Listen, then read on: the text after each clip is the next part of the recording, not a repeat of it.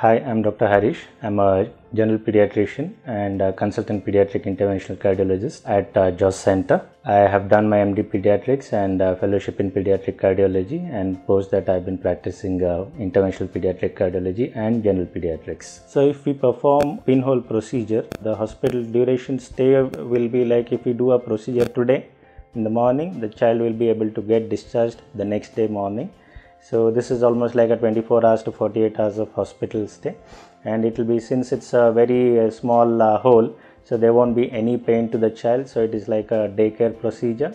So there won't be any scar in the body and uh, the child will be able to perform all the routine activities from the very next day itself. So this is very painless no scar and uh, very uh, lucrative uh, if you can say. So it's within 24 hours or 48 hours the baby will be able to go back to home